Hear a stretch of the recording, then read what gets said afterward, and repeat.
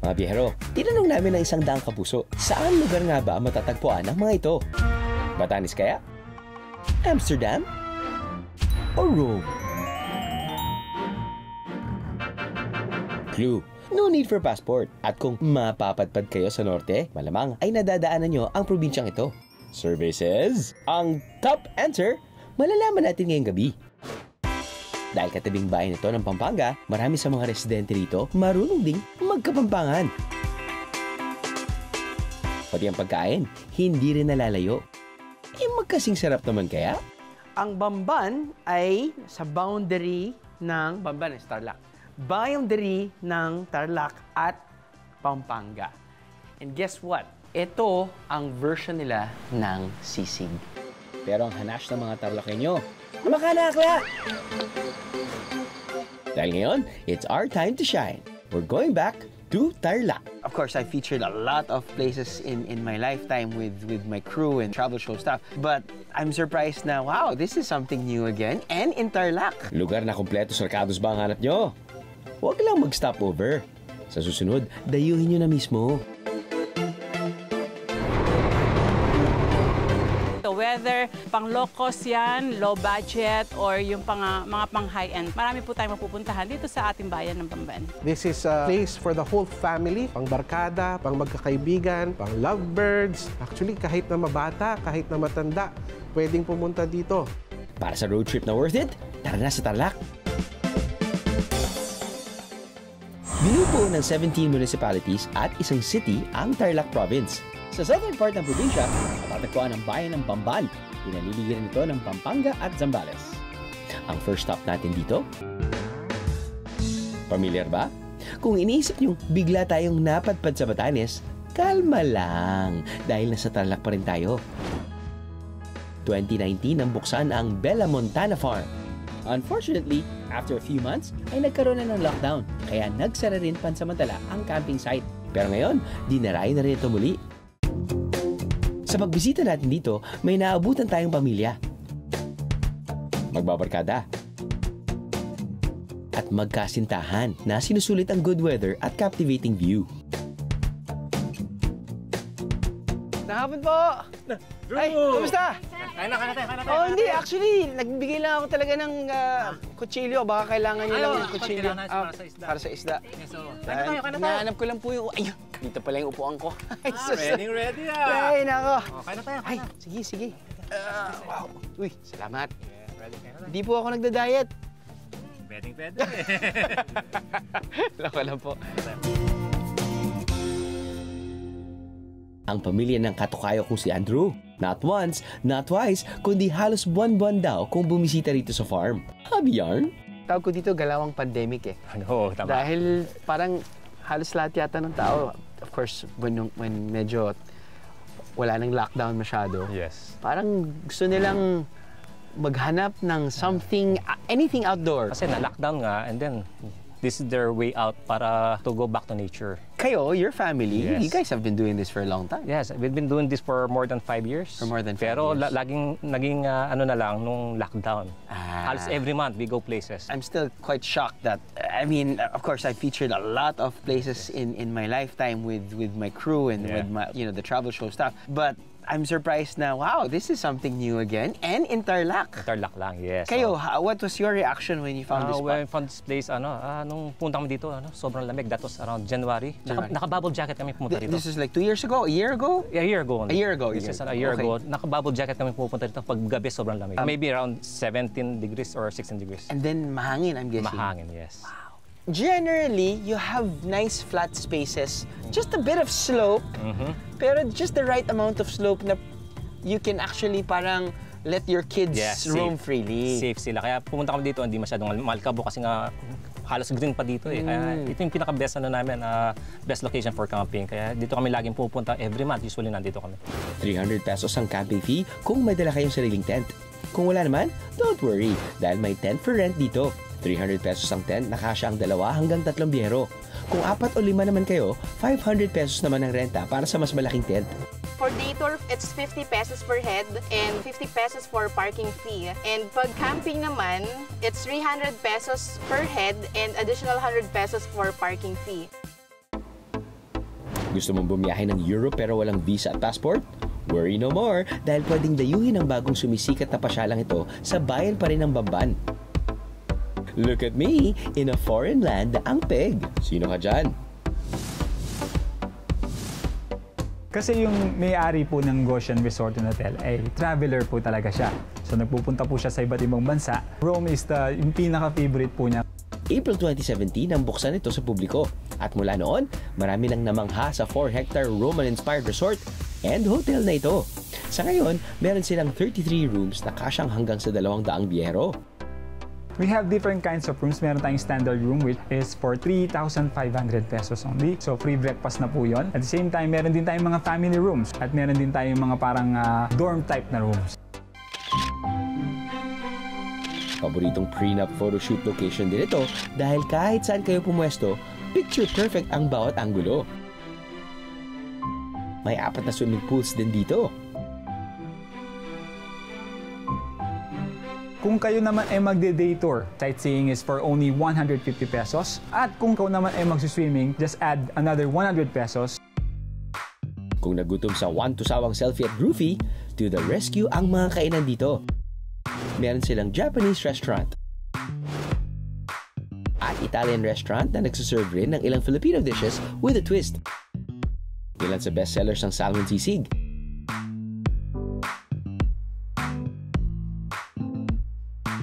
Don Marciano pasta. Baby back ribs. Tantan Men, Pork Katsudon, at California Maki. Bukas ang resort araw-araw mula 8am hanggang 9pm. From a Rome-inspired pasyalan, lipat naman tayo sa isa pang holy destination, ang Tarlac Holy Land and Pilgrimage Site. Ang naging inspirasyon daw nito, Jerusalem na minsan na rin binisita ng nagpatayo ng pilgrimage site. While I was uh, ministering in this area, I find difficulties evangelizing the Aitas because they can hardly read the Bible. So it came to my mind on how I will present the life of Christ among these indigenous people. I decided to create a holy land.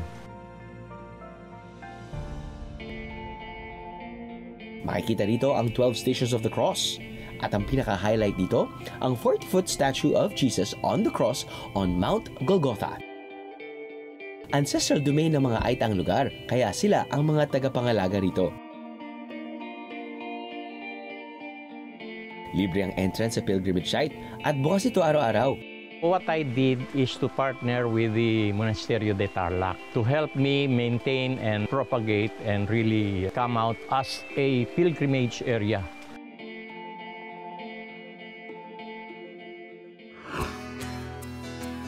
Calming at relaxing din ang susunod nating destinasyon. Red Barn? Windmill? Hmm, saan lugar naman kaya ito? Pililia Rizal? Banggi, Ilocos Norte? O Amsterdam? None of the above dahil nasa Tarlac City lang ang recreation area na ito, Bieros. A Highland Mini Golf na conceptualize siya during the pandemic. Parang conversations lang siya with the family. Originally, kubo lang siya. Gift ng dad ko sa mom ko. Then napansin namin yung mga tao, lagi nagpapapicture, umiikot, parang nagustuhan nila yung place. Doon namin naisipan, i-open siya sa public. Di rin kayo magugutom dito dahil meron silang cafe at restaurant.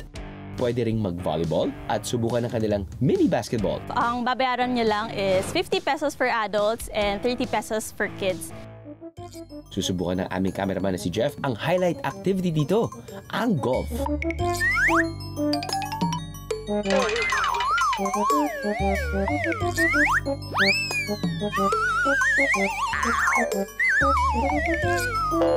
Sabi sa inyo eh, huwag maliitin ang kanilang mini golf eh.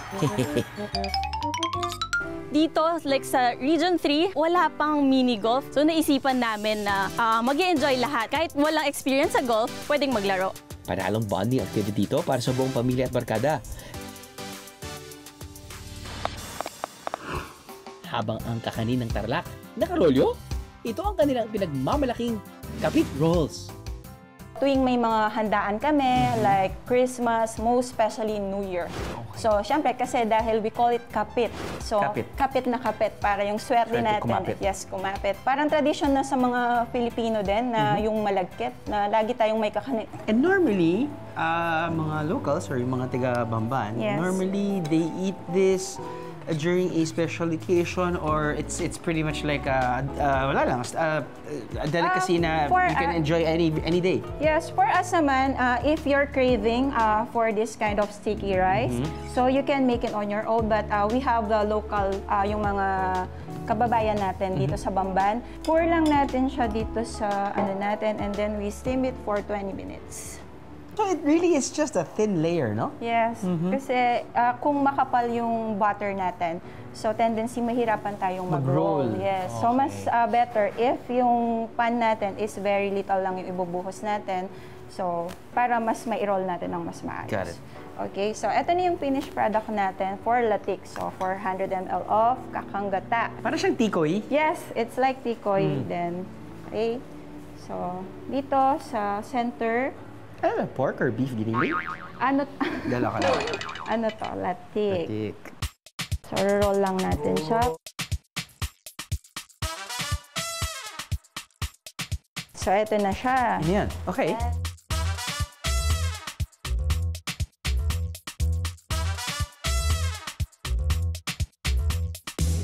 Tama nga yung hula natin. The texture is parang medyo tikoy. Sa gitna yung latik.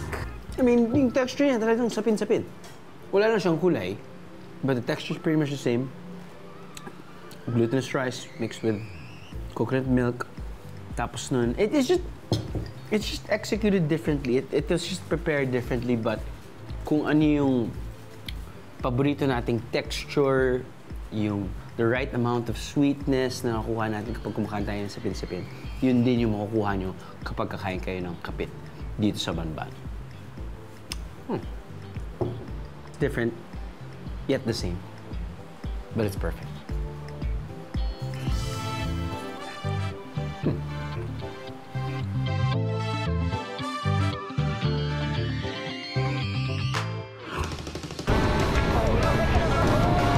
Dahil mabigat sa tiyan ang kakanin, burn natin ang kinain natin sa racetrack. Magdadalawang dekada na ngayong taon ang Kart City Tarlac na matatagpuan sa Tarlac City. Actually started uh, as friends, a group of friends na mahilig sa outdoor sports. Mahilig magkarera, kakamping. Pumupunta kami nun sa medyo mga racetrack sa Manila, sa Batangas, sa Cavite. Uh, nagtatry kami ng mga iba't ibang go-karts, fun karts at saka race karts. Tapos naisip namin, bakit tayo kailangang lumayo So naisip namin, tara, sama-sama tayo. Gumawa tayo ng isang racetrack at doon tayo magkarera.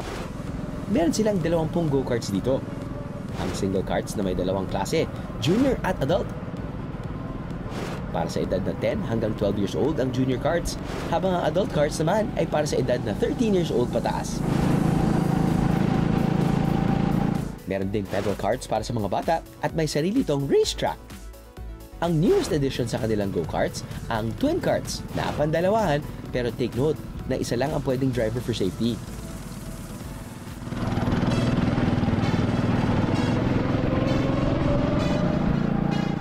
Na rin daw ang 5-minute ride dahil makaiikot na ng 4 hanggang 5 beses sa racetrack na may habang 800 meters.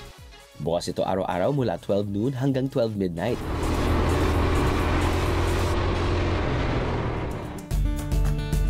Whether pang low cost yan, low budget, or yung mga pang high-end po. Marami po tayong mapupuntahan dito sa ating bayan ng Bamban. Saan naabot ang 10 pesos nyo? May mapupuntahan yan sa Bamban. Kabubukas ng itong 2022 ng campsite na ito, kung saan makikita ang breathtaking view ng Mount Arayat. Usually ang dinadayo nila dito is yung view kasi nga ang ganda ng view lalo-lalo na pag hapon. Yung mga street lights, kitang-kita po from Kapas, Mabalaka, Clark. Kitang-kita po yung view dito. It, was this parang, you think, a pandemic idea at, or medyo, I guess, lumawak at nagkaroon ng mas maraming mga tourist spots dahil sa pandemic? Mm, I think so. Kasi um, kahit ako nung, nung time na yun, nung pandemic din, um, naghahanap din ako ng place na pwedeng relax muna kasi bahay nakaka boring boring na talaga sa bahay. Eh. Anong magandang oras pumunta yung mga tao dito? Um, para sa akin, no, ang jogging ko talaga Early is morning. early morning talaga. Which is what? 5, 5.30? Um, around 5.36, ganun, maganda pa yun. Kasi mostly ganito pa yung, yung klima, yung temperature din. and kahit, same- sa, kahit summer, no? I mean, Mm, at ganun. least hindi At ganun kainit. oo. No? Oo.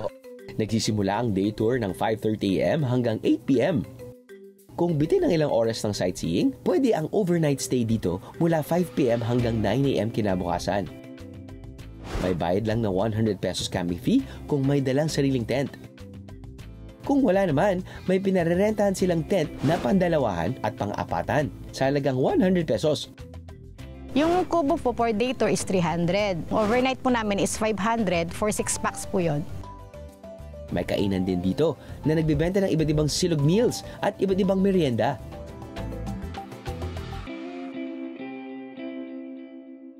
Pag bumisita po ng Tarlac, lalong-lalo na po dito sa ating bayan ng Bamban, um, may pagmamalaki po natin yung iba't ibang mga pagkain na meron tayo. Isa po sa pinagmamalaki po natin ay ang bagis. Noong nakaraang 49th founding anniversary ng Tarlac, kinilala ang bagis bilang official dish dito. Carabao meat ang original na ginagamit sa pagluluto nito dahil marami raw ang nag-aalaga ng kalabaw noon. Pero sa paglipas ng panahon, sinahugan na rin ito ng baboy, manok, baka at kambing. Well, bagis hindi natin tikman. Asus! Before, uh, pag sinabi mong bagis, it's kalabaw meat.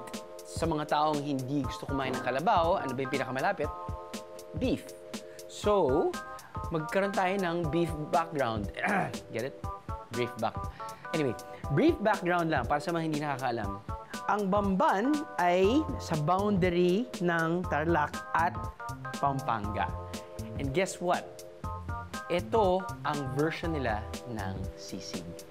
And as you all know, sisig comes from Pampanga. Tignan natin.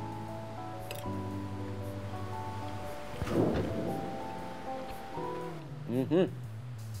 Gets. Yung unang tikim mo, may asim. Biglang, ayan na, parating na yung sili. Hello! Gumagano siya sa, sa dila mo. But anyway, I get it. Totally get it. And that's why, ito yung parang naging base nila ah, sa ibang dishes na alam natin. Katulad neto. You can eat this on its own, have a few drinks, as pulutan. You can eat this with definitely rice, and you can use this nga as the base meat for dishes like this one, this one. Pwede pang ang pizza eh. Pwede pang pasta. Hey, kayo na bahala.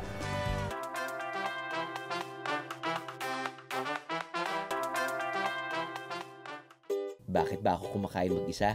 Eh pwede naman may kasama. Bawal ang sad dito. At hindi nila kayo hahayangang mag-isa. Date reveal na ba? Tada! Sila ang mga date ko for today.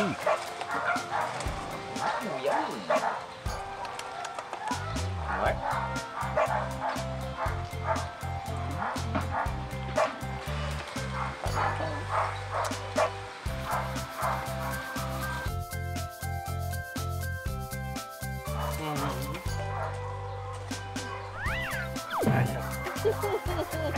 Grabe ka naman. Toothbrush naman ako.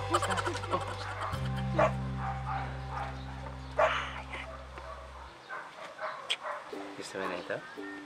Ilang lang yan sa mga pwedeng gawin as a volunteerist.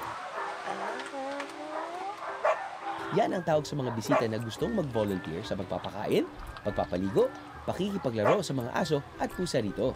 That's what you call being a tourista for a cause. Oh no!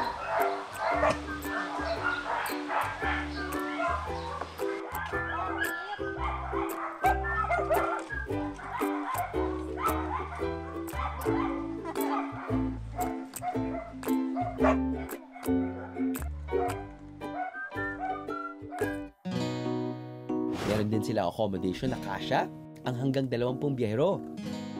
when did this start? And uh, I guess when did your passion for For- animal welfare start? We established this in 2006 Mhm.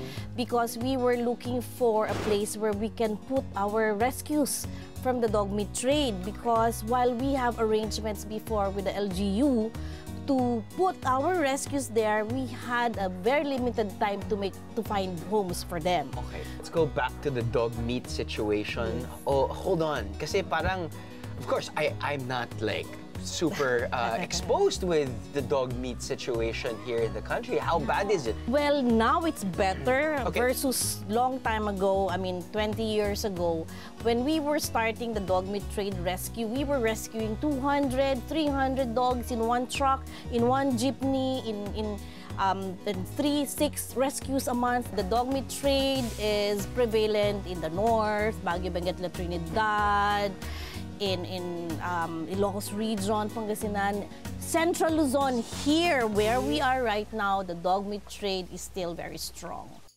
Our founder is a British uh, citizen. Okay. Uh, Charles was able to read in a newspaper back in the UK about dogs being slaughtered for commercial or human consumption. So he came here, investigated, he formed the group to look into it, and then eventually he formed Animal Kingdom Foundation. I think slowly he saw in me because I had so many suggestions, I had so many things in my mind to help improve because it's a passion eh. It's a potion. Yeah, something like that. Yeah. Okay, sorry. Ngayon ay may 300 dogs and cats ang inaalagaan nila rito at lahat ay naghahanap ng permanenteng tahanan o mga mag-aampon sa kanila. Is there like a screening test? Yes. Hashtag adopt, don't shop, viejeros. Give these fur babies a chance to find their forever home.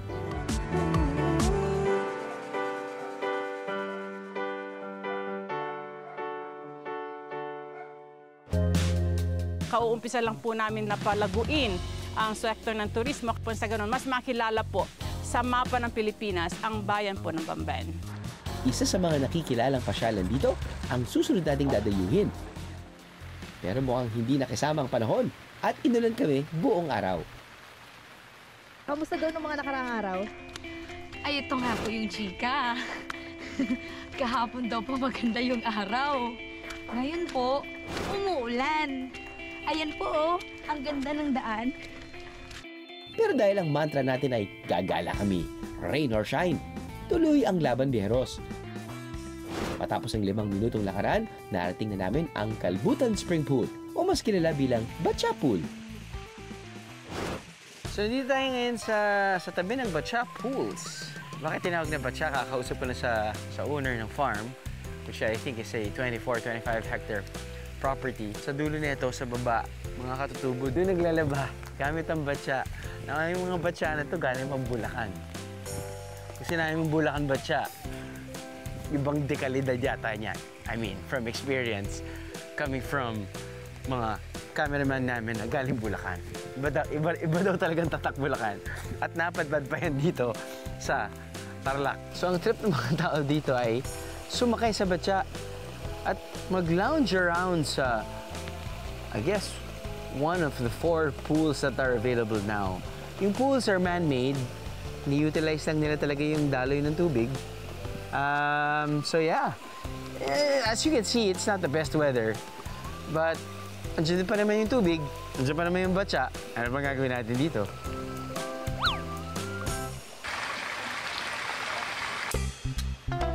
Biheros, balance is key. Focus lang. Para umusa tayo, let's be resourceful guys. Ayan, i-enjoy lang natin ang batya moment.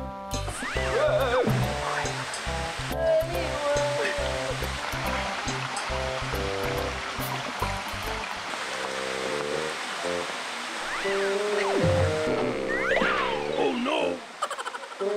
Mabuti na lang nandito si Kuya.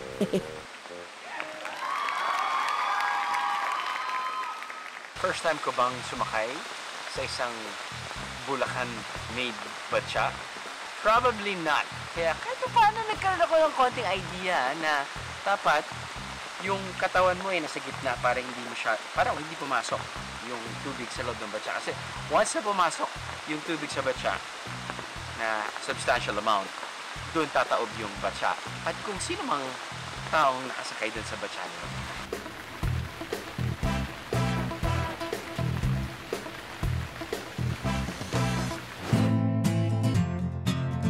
Ano ba ang ultimate vacation goals? Siyempre, dun tayo sa all-in. Yung pwedeng pampamilya, pambarkada, para sa lovebirds, at pati na rin ang animal lovers. Yung kayang sakyan ng trip nyo, chill man o extreme activities. At syempre, doon tayo sa pasok sa budget, pero overflowing ang experiences. Kaya tara na sa Tarlac. Hindi lang pang stopover yan, pang bakasyonan na.